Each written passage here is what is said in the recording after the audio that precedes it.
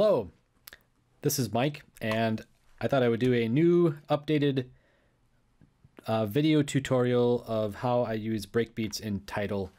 I've done a video like this a while ago, but I work with breakbeats very differently now, and I thought I would just create a new tutorial to show what I do.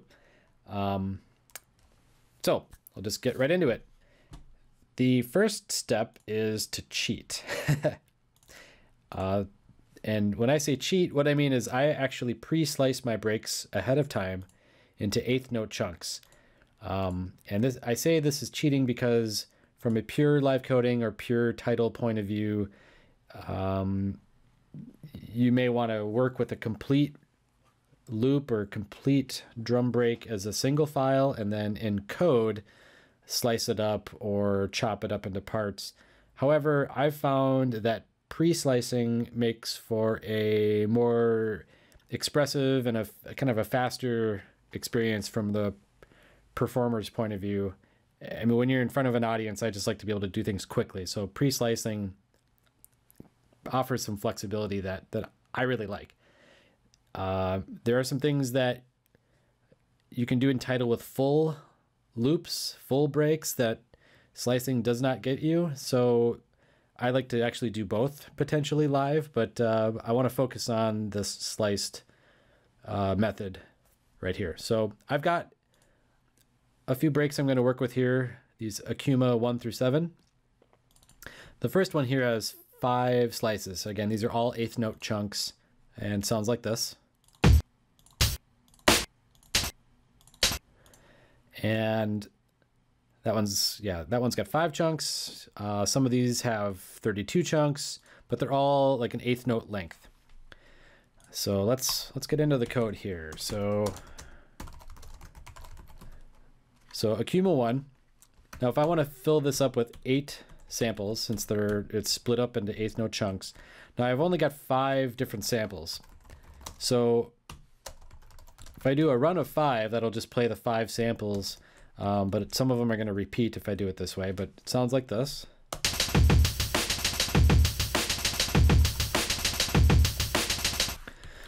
So it's kind of spreading that run of five over eight.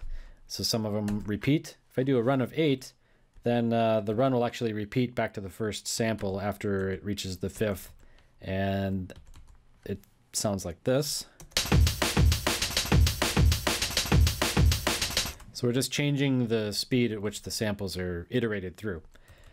Um, if you want to add a little bit of variation, you can add some density to the run, which will make the run go faster.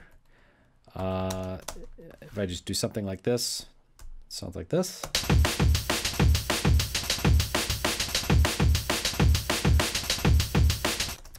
You can add some conditions in here, you know, every two density you know 1.1 or 1.2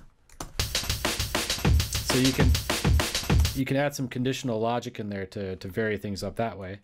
Um, if you are okay with randomness you can actually use the irand function and just pick a random sample.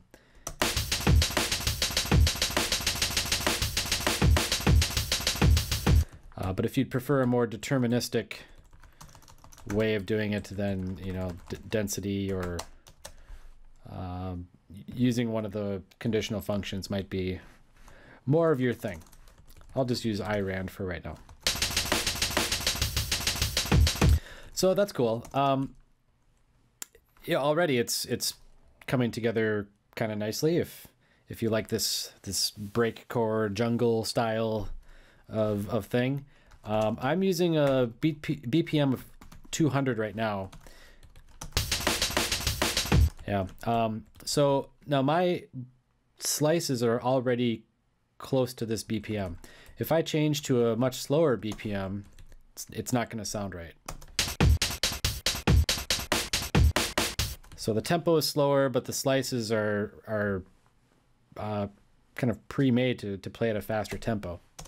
So to adjust for this, we can use the unit synth param and use the value of C.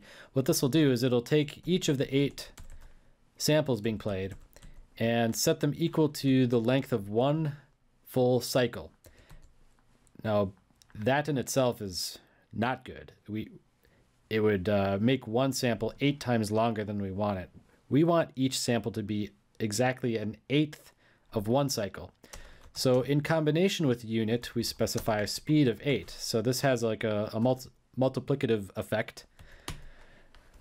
I can't remember the last time I used the word multiplicative, so hope you enjoyed that. Uh, so what we're saying is stretch each slice to a full cycle and then multiply the speed, play, the playback speed by eight. Uh, so it really will then make um, each slice exactly one eighth and sounds like this at our tempo of 140 BPM. So now if we change the tempo in real time, it should all just work.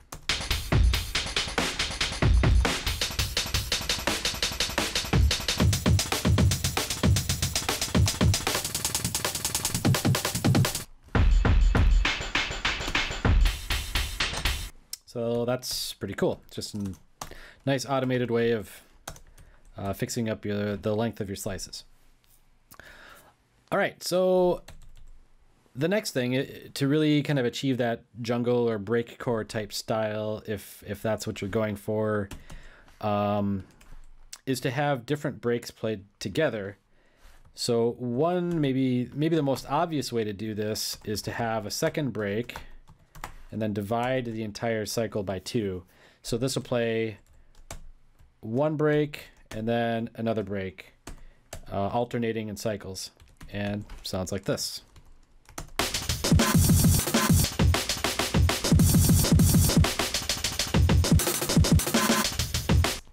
So that's kind of cool.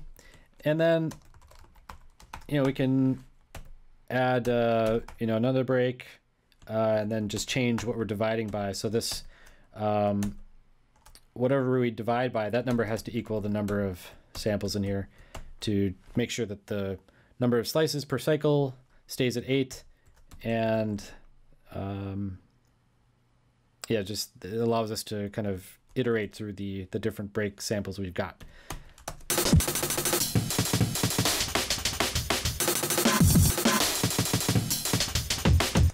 So that's that's kind of interesting. Um, however, this Akuma 4 sample, as you may recall, has 32 different samples inside of it. And we're but we're only using an uh, an IRAND of 5. Now I could change this to 32, but you know, what if Akuma 2 had, you know, some other number. Uh, basically, now we're, we're using uh, a, a, value greater than what these one and two breaks really need. It still works, but Dirt is doing some caching behind the scenes now that it doesn't need to, or it's loading more samples than it, it actually needs to. So, and the other thing is that this doesn't allow you to, to be as flexible with each of these breaks and it also makes for a longer pattern and I like to keep things short so let's go back to this so what I like to do here is I like to use the the slow cat function which just takes an array of sounds or an array of patterns like so so I can put my three breaks in like this and now each break can have a different IRAND value if, if I so choose.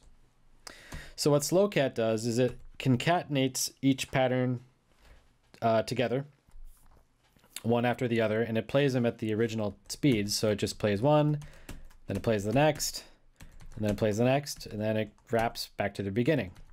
And so it sounds like this.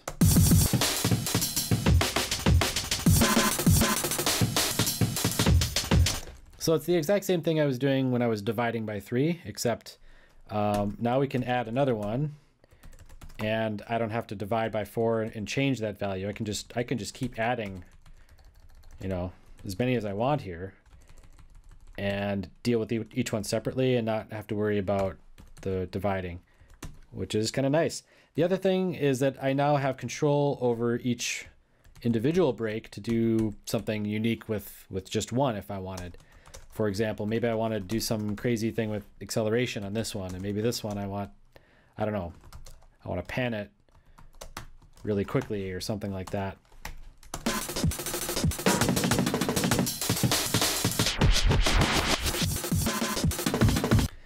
Kind of an extreme example, but um, just to kind of demonstrate, now you have control over each break.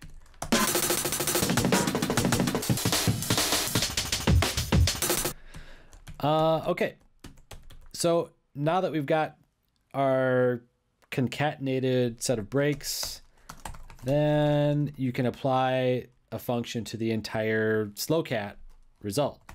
So one thing that I abuse terribly is I will use fold every and um, beat shifting to, to kind of have the entire result of that uh, kind of move around in time.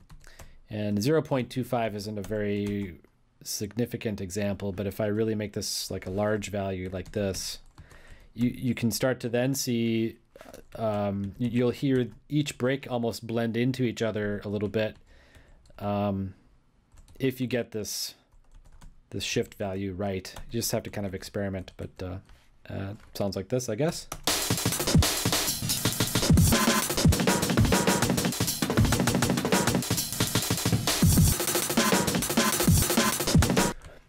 Um, yeah, so it just adds a bit of variation. And of course, um, I like to use slow spread, or you, you can you can put any kind of conditional effects or additional transforms in here to really uh,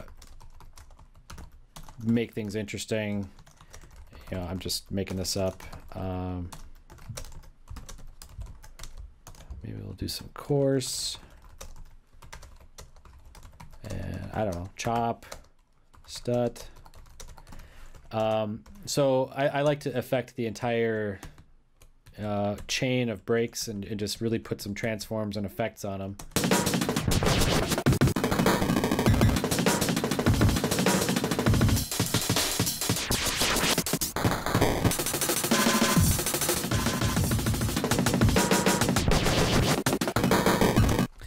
you get the idea. Um, and then another thing, uh, so I guess this is the last thing I want to mention.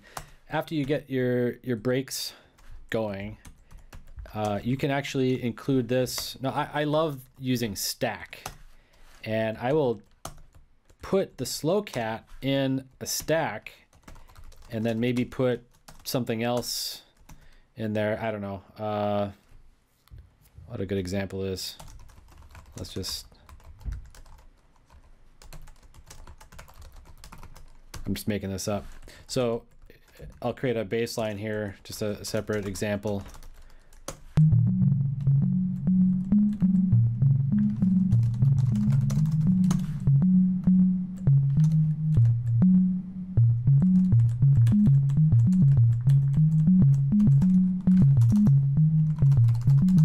All right, so that's the bassline. And now what I can do is put that inside of my stack with Slowcat.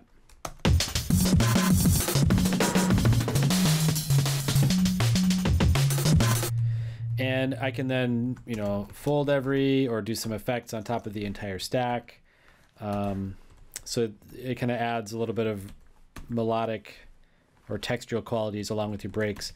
Of course, you could put your bassline outside of, you know, that D1 as well and have your breaks separate. That's cool too.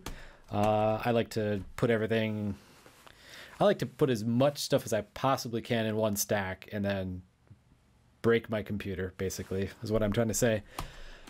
So, um, yeah, that's about all I wanted to show. Um, so uh, one thing I have not done much of is is use this technique with uh, like non-break loops. So if you slice up, let's say, uh, some sort of you know synth line or bass line or vocals, uh, actually, vocals would be really cool to try slicing up and, uh, you, know, do the same thing. Um, yeah. But uh, anyway, this is how I use breaks these days. It's kind of fun. Um, the slicing can be a little bit of a, you know, tedious task up front, but um, if you can find a good automated tool to do it, that helps. And I think the the payoff in the long run is very helpful because it allows you to really be expressive with um, sliced breaks quickly in front of an audience. So that's that's how I do it. and maybe maybe you will too. Maybe you will do it this way too. And if you do, then that's great. So that's all I got. And hopefully this was helpful. And see you in the future.